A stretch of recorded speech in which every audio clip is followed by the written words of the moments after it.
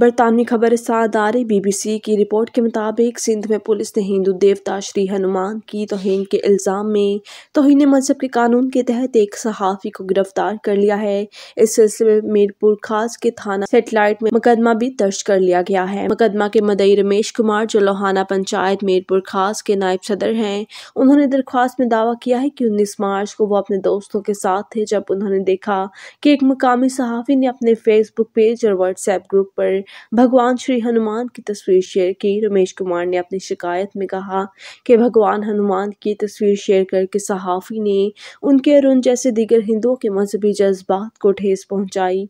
उन्होंने दावा किया कि इस तस्वीर को शेयर करके मजाहब के दरमियान तफरका फैलाने और अमन अमान को खराब करने की कोशिश की गई। सेटेलाइट पुलिस स्टेशन ने रमेश कुमार की शिकायत पर तजीरात पाकिस्तान की दफ़ा दो सौ पचानवे ए और एक सौ तिरपन ए के तहत मुकदमा दर्ज किया। इधर पुलिस की हिरासत में सहाफ़ी का एक वीडियो बयान भी सामने आया, जिसमें उन्होंने हिंदू बरदरी से माफ़ी मांगते हुए दावा किया कि ये पोस्ट उन्होंने खुद नहीं की थी, बल्कि ये उनके साथ किसी ने शेयर की थी, जिसे उन्होंने मजीद शेयर किया।